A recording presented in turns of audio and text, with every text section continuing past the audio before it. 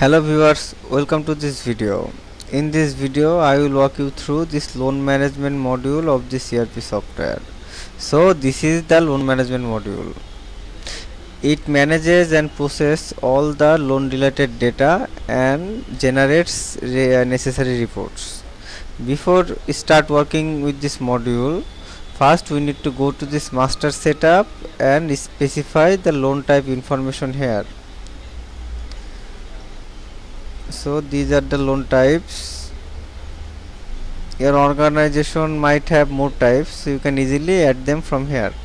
After specifying this you can do the regular activity with this regular activity menu. Uh, presently it has two options like uh, pf loan register and salary advance register. Uh, this is the reporting part it shows all the loan application report loan balance statement and salary advance statement.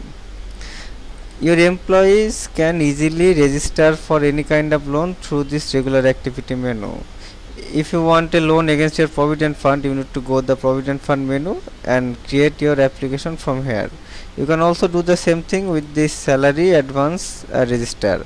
So this is basically the loan against the salary a kind of advance salary.